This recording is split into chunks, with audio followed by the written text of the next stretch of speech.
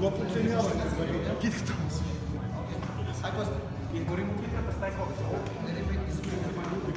Иде за така?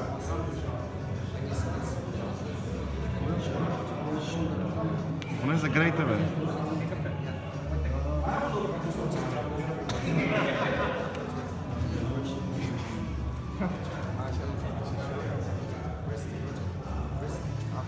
Ready, go. Загрейте малко.